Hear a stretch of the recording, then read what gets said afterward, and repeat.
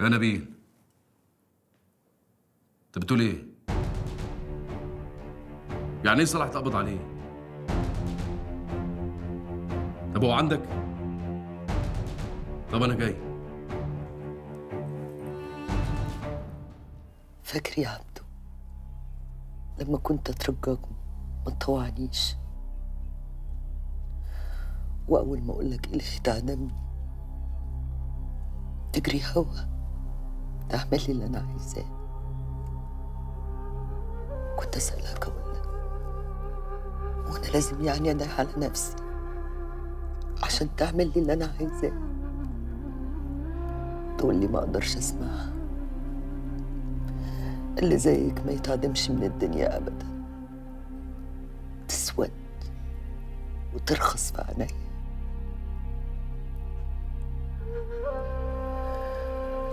اديك سبتني لوحدي يا عبد. والدنيا بتلطم فيا. أروح لمين بعدك؟ فكرت أروح لأبويا. يا عيني عليه. موت نفسه بالحياة. لأجل العيلة تعيش بالحلال مش بالحرام. وأخويا واقع فيها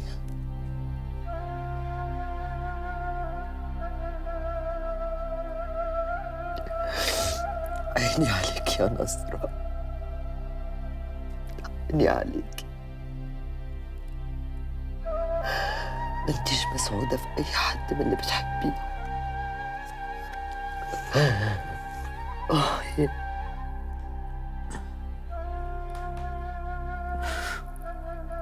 تخبط قبل ما تدخل. مؤاخذة ما معرفش انك هنا مالك يا؟ مالي؟ وكل حد يشوفني يقول لي مالك. اسيب لكم البيت وامشي. بتكلمي ابويا يا أم؟ لا يا أخويا تسيب لي الساعات. طب ما تكلميني أنا. بصي لي هتلاقي فيا منه. كلميني يا أم وأنا هريحك. وأسمعك زي بالظبط. حبيبي ربنا يديك طولة العمر والصحة. ما تحرمش منك ابدا يا حبيبي ولا ليها عزم جيتك. وإن كان على بضاعتك هترجع لك وزيادة. مرضي؟ وقول لي مرضى صلاح وبضاعتي وزفتي ما تولع البضاعة. أنا جاي أطمن عليك وعلى الوعي اللي أنت وعتها الوقت اللي وقتها بقول لك يا سعيد ما تسيبك بقى من وش الحنية اللي مش مطبع عليك ده. إيه يا جدع الأفلام دي كلها ورامي بضاعة بالشيء الفلاني عشان توقعني. هو أنت عليك بالسهولة دي؟ أوقع مين يا صلاح. هو أنت دماغك ياض جايباك إن أنا اللي وقعتك؟ أنت اتجننت ياض ولا حصل لك إيه؟ حصل لي إن طول عمري ظهري في ظهرك. تشيلني مهما تشيل ما بقولش غير أمين. شفنا الموت سوا ودوسنا عليه برجلينا. إنما أنت بقى أول ما إيدك طالت العالي اتمعت ودوست على صاحبك وهرسته. هرسته؟ ده أنت شايل بقى جواك ومعبي من زمان. يعني بتضحك في وش السنين اللي فاتت دي كلها يا صلاح. وانت النار قايدة جواك عمالة بتاكل فيك. ولما أنا جاي عليك قوي كده يا صلاح صبر عليا ليه؟ مستني تلم الخير وترسق نفسك وتلف حوالين رقبتي. عندك يا سيد. صلاح ما بيخونش. وسيد ما بيخونش يا صلاح. الشغل من ورايا ده إيه؟ وكلام اللي جبته على الأرض. تمام يا أخي. عايز أبقى معلم زي زيك. ليا اللي ليك. وعليك اللي عليا يا صلاح. يعني إيه يا سيد؟ يعني المعلم مفيش حد بيسحبه من وقعته غير دراعه. طلع بقى نفسك من هنا يا سيد المعلمين.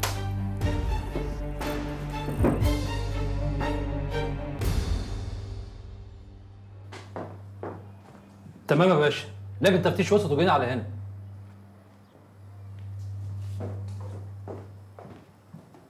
يا باشا. مش وقت تنظيف دلوقتي يا عم جد الله. قضية يا باشا. بقول لك مش وقت تنظيف. ارجع زنزانتك. اللجنة هتيجي تلاقي الطبنجة بتاعت حضرتك موجودة. سلام يا باشا.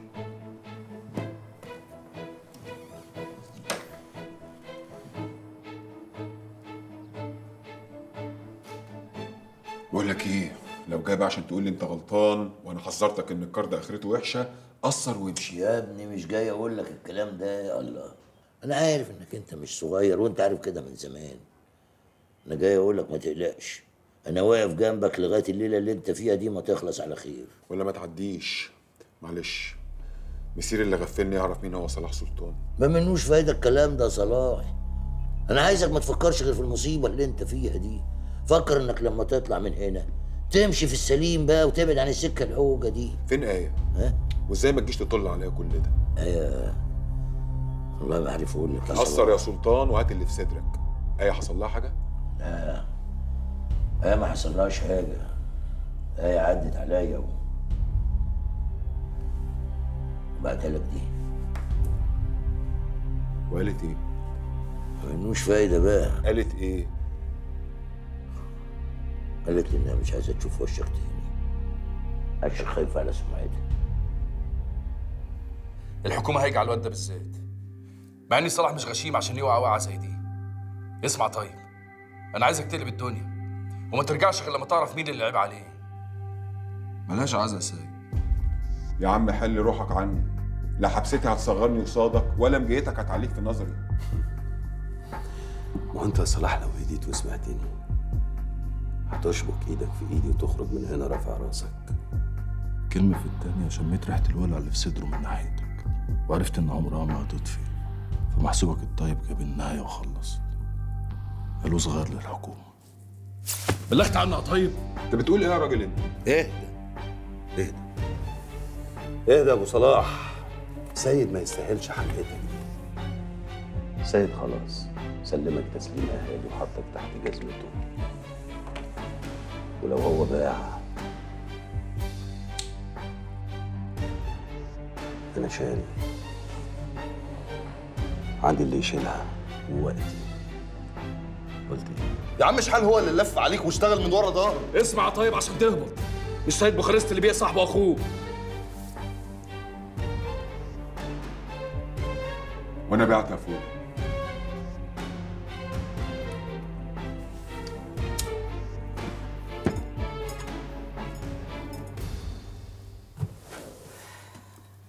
ما تخبطيها في وشي كده وتقولي لي أمي مشي.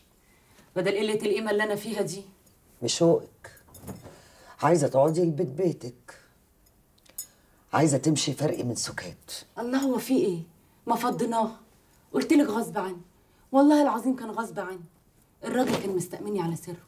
وأنا بصراحة خفت أخش بينكم. لا أنتوا الاتنين تقعوا في بعض. كل حي عمل اللي في دماغه. أنا لا هلوم حد ولا هعتب على حد. يا تعب قلبي ياني إيه يا بت هو ليه كلكم كده جايين عليا؟ خبيت عليكي عشان بحبك. خايفة تتقهري. ووقفت في سكته خفت يروح مني. هو لا سدت حنكي نافعة. ولا فتحتها نافعة. اعمل إيه أنا دلوقت؟ طب بقول لك إيه يا نصره صوتي يا أختي. زعقي. خرجي اللي في قلبك. بس ما تكتميش في نفسك كده كتمه وحشة. أنا لا هصوت ولا هزعق ولا هعمل أي حاجة. تخافيش يا أختي. لا يا أختي أنا مش خايفة. أنا بصراحة خايفة منك. أيوه يا نصرة خايفة منك. وهو اللي زيي تخاف منها في إيه يا حسرة؟ أنا آخرتي أزعل أنقهر. يا حبيبتي أنا ويونيا رايحين جايين على بعض. كل شوية نقول نصرة اتغيرت. ما عادتش زي الأول. الأول لما كانت بتزعل الدنيا كلها كانت بتاخد من زعلها نايم. وما تفرح الدنيا دي كلها كانت بتقيد. لكن انت كاتمة في نفسك وساكتة. وأنا حاسة إن كتمتك دي وراها نصيبة. لما يكون الزعل من أي حد. لكن سيد ما أقدرش. لو زعلته هنكسر. وهبقى حد تاني. حد أنا نفسي أخاف منه.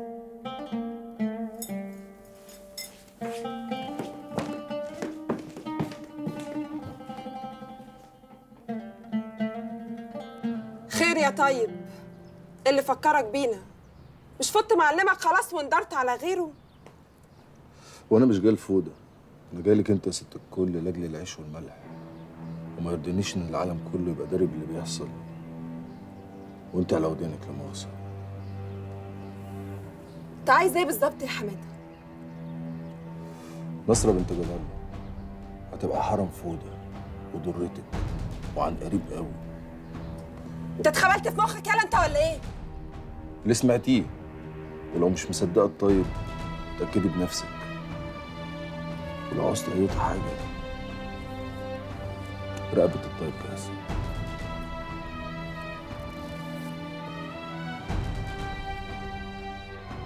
يا كبير ده أنا أول مرة أحط عندك يعني. يعني يابا لازم تديني مقامي برضه. مقامك؟ مقام مين يا جعير؟ هو انت نزاك ليه مقام؟ ده أنا عفيت عنك صدق ياض ليه كده بس يا كبير؟ ده مفيش حاجة حصلت في بيت فوضى الأسمر إلا لما حطت في حجرك بالسنتي تمن عمرك ياض ولو اللي انت جاي تهرف انت مش قده هترخص روحك. اخلص. وأنا مرضي يا كبير. علشان اللي هتسمعه مني الليلة مش يساوي عمر أنا وبس. ده يساوي عمر المعلم جد الله ذات نفسه. أقول الله يرحمه. ولا الله يفك حبسه.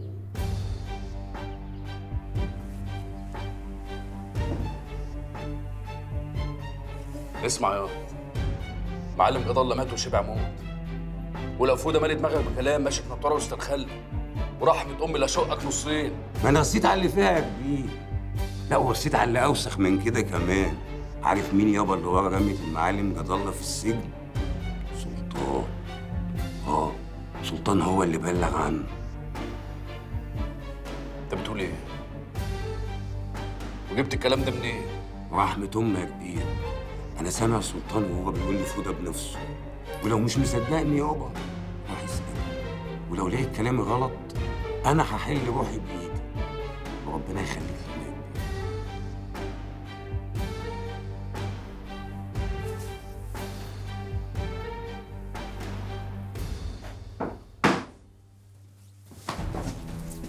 سيد انت جننت يا سيد ابويا يا سلطان كلمة ورد غطاها.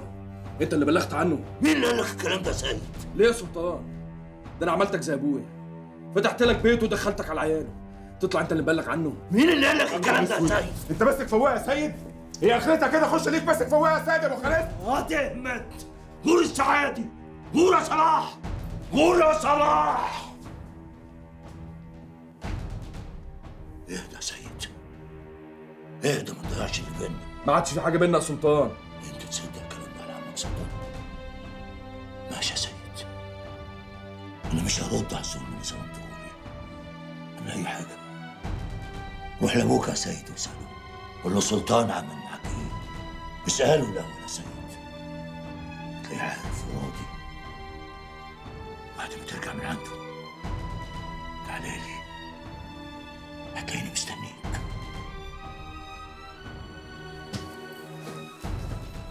وانت إزاي عرفتي توصلي لي؟ حبيبتي مش دي القضية. أنا حكيت لك إني كنت صحفية قبل ما أبقى مذيعة. يعني عندي سكك كتير.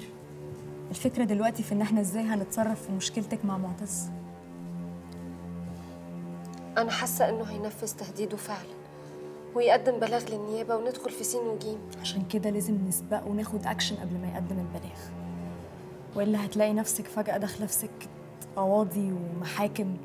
ومش بعيد تلاقي روحك كمان في السجن مش كده؟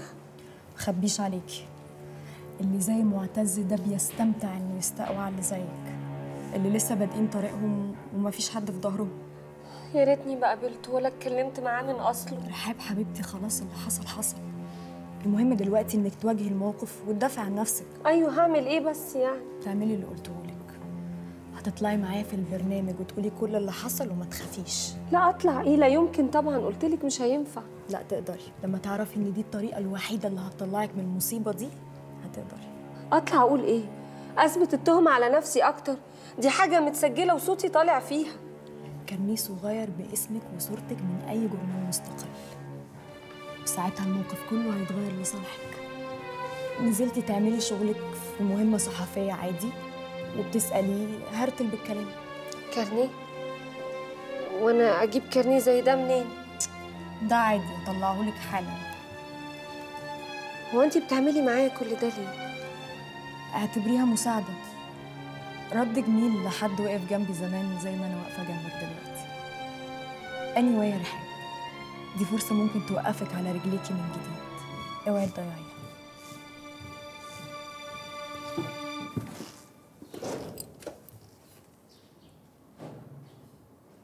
ليه يابا عملت فينا كده ليه؟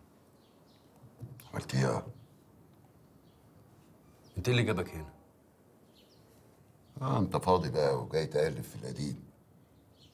ما أنت عارف شلت المخدرات اللي وقعت بيها ولا نسيت؟ لا ما نسيتش. بس أنا عرفت كل حاجة.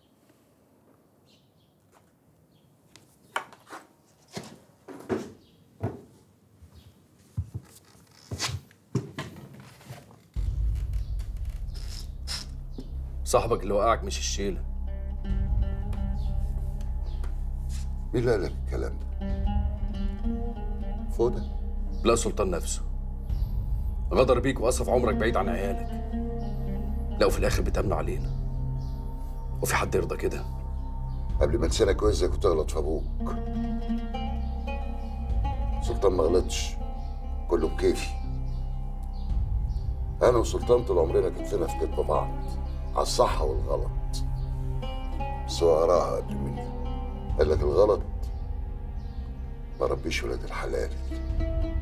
حاول يردني. ما رضيتش.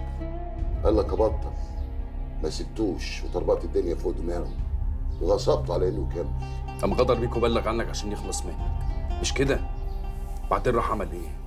بل إيده في الحلال وربى ابنه. ابنه طلع وسخ منه. وأنا طلعت أوسخ منك. أنا مفيش أوسخ مني يا سيد. أنت ما تعرفش عن أبوك. غير الراجل اللي الدنيا داست عليه ورميته هنا. لو الدنيا دي فيها وساخة أنا اللي علمتها الوساخة. لولا سلطان واللي عمله معاكم كان زمانكم ضعتوا أنت كمان بتدافع عنه؟ والزمك تحب على راسه. سلطان ما غلطش. أنا اللي اجبرت على الأذى. الأذى ما طلقش لوحدك. الأذى طلنا كلنا. عشان كده حق نفسه قدامي. وعقد كلمته بالدم إنه حاجة عليك ويحميكم من نفسكم. وحمانا؟ ما أنا قدامك أهو. مشيت في نفس السكة اللي أنت مشيت فيها. يمكن لو كنت في وسطينا ما كانش ده حصل لنا. أنت اللي اخترت السكة اللي أنت ماشي فيها يا سيد. ولا إيه؟ عارف اللي قاهرني وقاطع فيا؟ مش انك ماشي في الحرام. لا. انت بتفكرني بجدارنا بتاع زمان. اللي مش هيرد الروح إلا لما يقع. ارجع يا سيد. ارجع يا ابني قبل ما تقع. وما تلاقيش اللي يردك. لا مش هرجع. وهفضل مكمل عشان ما فيش حد يقدر يوقعني. عارف ليه؟ عشان ما فيش حد يستجري إن هو يبيع سيد بوخارست.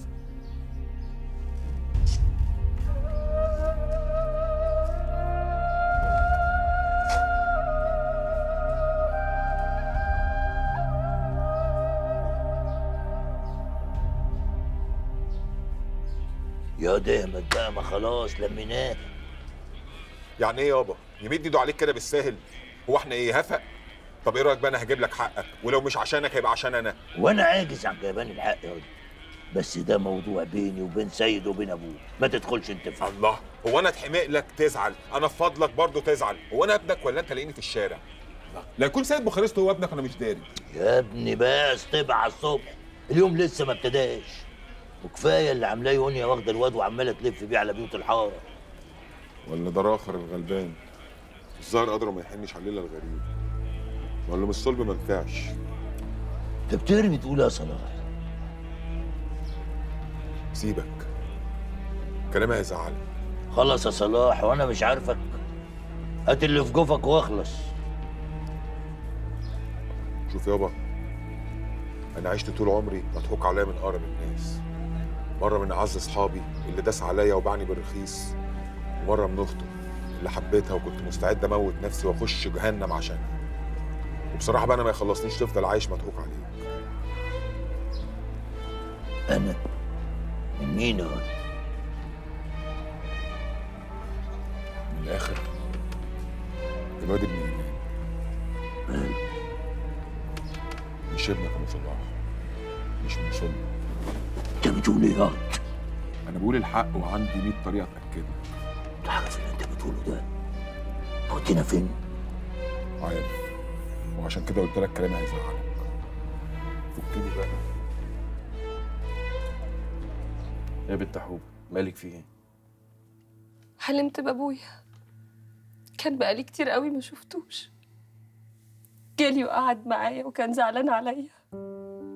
زعلان عليا قوي وبيعيط. خدني في حضنه ودموعه غرقت رقبتي. أنا خايفة يا سيد. خايفة قوي إيه ده يا حبوب خايفة من إيه؟ موضوع شكله مش موضوع حلو. أنا أول مرة أشوفك كده مالك؟ في إيه؟ سيد أنا في مصيبة. مصيبة إيه؟ ما تقلقنيش عليكي. أنا عارفة إن مفيش حد في الدنيا دي أقدر أروح له إلا أنت.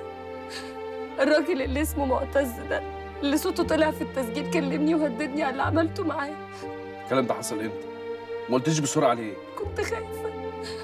خايفة من كل حاجة حتى منك. بس خلاص ما بقتش قادرة أستحمل بصة الناس ليا وكلامهم عني.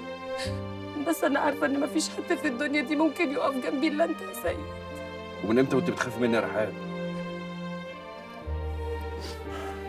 خلاص ما تقلقيش أنا هتصرف. أنا آسفة. والنعمة ما كنت عارفة إن كل ده هيحصل. حقك عليا سامحني. خلاص بقى قلنا ما تخافيش. طب علاء الحرام ما حد يقدر يقرب لك ولا يمس شعره منك. كله يبقى تمام. خلاص بقى. خلاص. اهدي يا بنت ما تخافيش.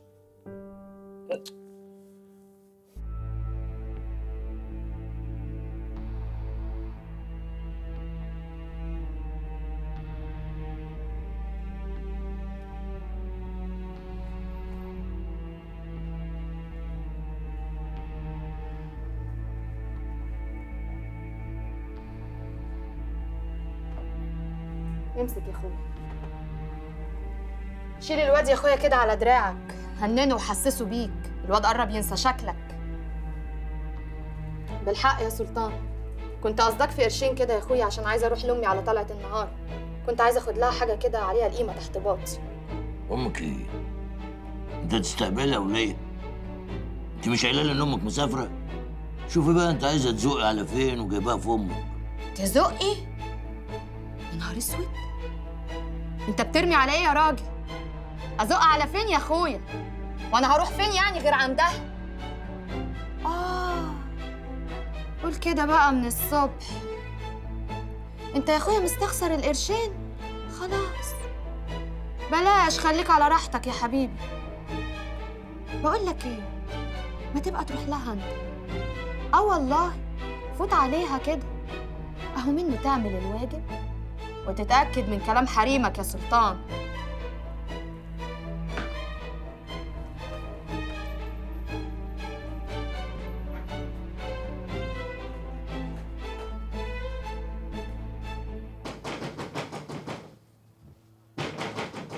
ما بالراحة اللي على الباب. يو.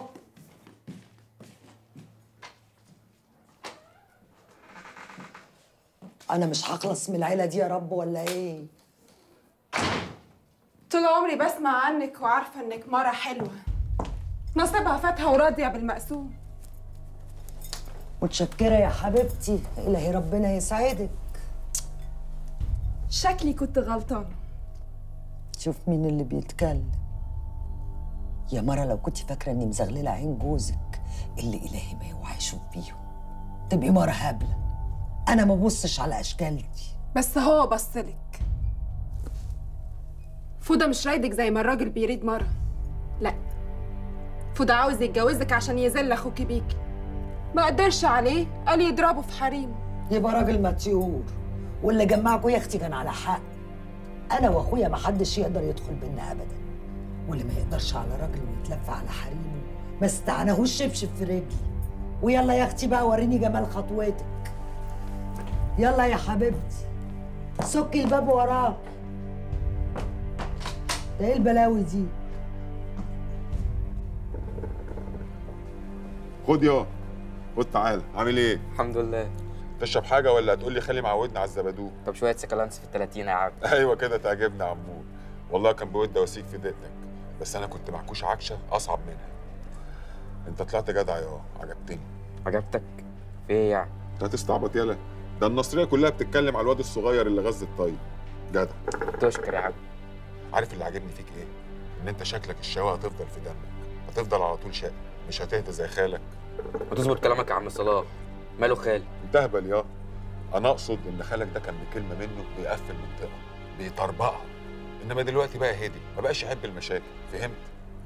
ما هو نقرزني برضه بكلمتين كده وقال لي ما تتكررش تاني وبتاع. خايف عليا يعني. مش قلت لك بس أنت بذمتك ينفع يتخاف عليك بعد اللي أنت عملته ده؟ ياض ما فيش شنف في النصرية. يستجرى يعمل اللي انت عملته. بجد يا عم صلاح؟ أمال بشتغلك يا؟ طب تصدق بقى بإيه؟ أنا من دلوقتي أنا وأنت شقايق يعني الشقاوة هتبقى بيني وبينك مش بيني وبين خالك. قشطة؟ أصل يا صاحبي. حبيبي سلام يا عمور.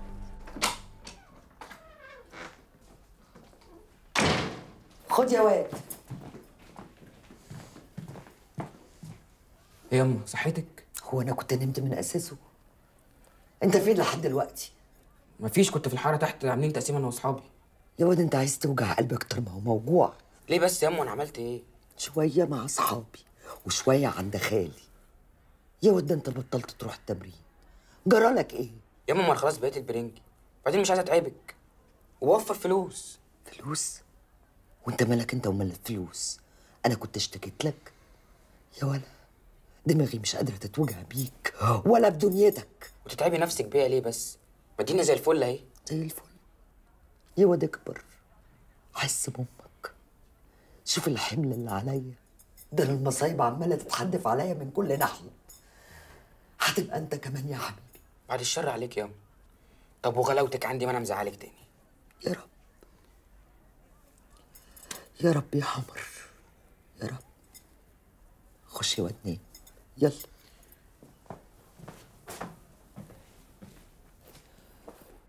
تركيبة جديدة إزاي يا أبو خريست؟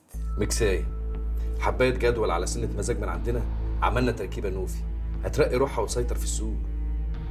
OK بس ليه دلوقتي؟ اشمعنى؟ أنا أقول لك ليه. دلوقتي الحكومة شادة السلخ على البرشام. في ثلاث أربع أيام لمت الترامادول والتراماجاك اللي في السوق. دي العيال بتسف تراب العيال من دول يتلاقي على حباية بجنيه بيروح يبيعها ب 100 جنيه. اللي أنت بتطلبه ده مش سهل. ده عايز مصنع أدوية بحاله ما تفكرش في عامر. وليه بس ما فكرش في عامر؟ ده business في deal ما بيننا إنه ما يتدخلش في أي business خاص بيا. ده لو الدنيا حلوة. بس إحنا دلوقتي في حالة طوارئ. في حظر برشام. اسمعي الكلام مفيش وقت. ولا أنت خايفة لا يرفض؟ مش موضوع إنه يرفض. سيبني أفكر وأنا هقول لك ماشي. بس على السريع. لو لي صحيح تعرفي واحد اسمه معتز الكاشف؟ أعرفه كويس. عنده فضيحة البلد كلها بتضحك عليه فيها. اشمعنى؟ أقول. لك لكن ما قلتليش بقى يا بلبل هو سيد هيعمل إيه بكل المحلات دي؟ مش فاهمة يعني. المحلات دي يا ست سيد جابها لإخواته. كل واحد محل. هو نفسه يظبط لهم حياتهم وكل واحد يعمل المشروع اللي عايزه في المحل بتاعه. إيه يا حبيبي يا سيد طول عمره مجدع وابن حلال وباله دايما في اخواته. ربنا يخليهم لبعض. لكن انت مالك بقى النهارده؟ مالك؟ زعلان كده ليه؟ لا مش زعلان مفيش حاجة. لا مش زعلان مفيش حاجة. لا في حاجة يا أخويا. إيه؟ تكونش كان نفسك في محل من المحلات دي يحييك بيهم سيد. أنا مش عارف يا يونيا. الدنيا ملطشة معايا كده ليه؟ كل الناس ماشية في طريقها زي الفل من قدام ما عدا أنا. هوب ومحلك سر. إيه بس اللي جرى يا بول؟ ما أنت زي الفل أهو يا أخويا. لا أنا مش زي الفل ولا حاجة. أنا مش عارف حظي ليه ملطش كده مع الحريم. ولا واحدة عايزة تبص في وشي. طب أنا أقول لك على حاجة. النهارده وأنا بشتري المحلات دي كنت بشوف كل اتنين جايين يشتروا شقة ولا يأجروها. عرسان يعني. كنت بفرح بيهم وافرح لهم. بس زي ما بفرح لهم بحزن على نفسي وعلى حظي. لا لا ما تقولش كده يا بول مصيرها تفرج يا حبيبي. كل شيء بأوانه تفرج منين بس يا يونيا؟ أنا عارف حظي والعكوسات اللي فيه. أنا عارف أنا هفضل كده طول حياتي ولا هتجوز ولا هيبقى ليا علاقة بالجنس التاني ده. الله إيه الكلام اللي أنت بتقوله ده؟ تفهم من بقك. نصيبك هيسيبك ويجي لحد عندك. وانت طيب وابن حلال يا فلفل تستاهل كل خير. وربنا هيبعت لك واحدة كده زيك يا أختي يا أختي يا خلاص يا خلاص. أيوه كده وريني ضحكتك الحلوه خد بقى أشرب الشاي وفكها. وإن شاء الله أنا هرقص لك وأزغرط لك يوم فرحك اللي هيكون قريب. قول يا رب.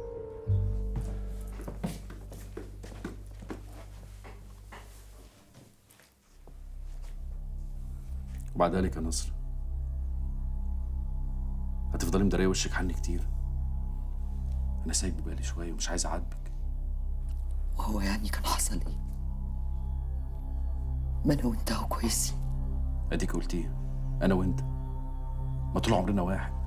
ليه خليتينا دلوقتي اتنين؟ مش بخاطري يا سيد. أنت اللي ماشي في طريق ما أقدرش أجاورك فيه. وأنا مرضاش أنت تجاوريني فيه. أنا عايزك بس ترجع معايا زي الأول. ملهاش يا سيد.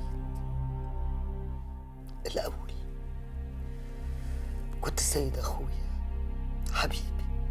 اللي محاجي عليا أنا واخواتك وبتأكلنا بالحلال ودلوقتي؟ ما بقتش شايفاك خالص. الحرام مدارك من ساسك لراسك. كأنك واقف وراه وأنا مش عارفة أطل عليك. أبوس إيدك يا سيد. بلاش. افتكر أبوك مبقاش ينفع. مبقاش فيها رجوع نصر خلاص. ولما انت مش عايز ترجع للخير عايز مني إيه؟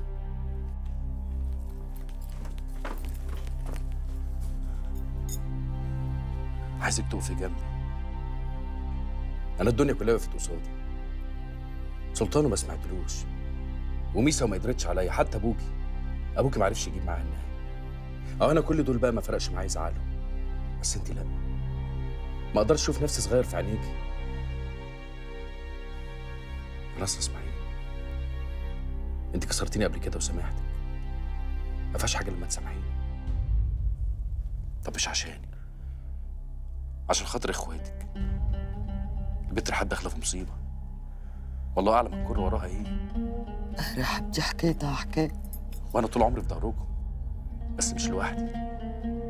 طول عمري كنت واقفة في كتفي. عارفة ليه؟ عشان البيت ده تمام ويتلم. أنا بحوط من بره وأنت بتضم من جوه. يا نصر لو حد فينا وقع البيت كله هيكر ورا بعض. والقرش الحرام مش هيضيعه. أبوك قالها كلمة. قرشك لو حرام طينه بق الغلبان يغسله. يا لهوي. أنت عايز تحل قرشك بلقمة الغلابة والمساكين؟ هتضحك على ربنا. ربك رب قلوب يا نصر. اهدي انت بس. اهدي واصفي من ناحيتي. وسيبيها عليه ونعم بالله ربنا يبعد عنك الشر. ويرضى عنك. قادر يا كريم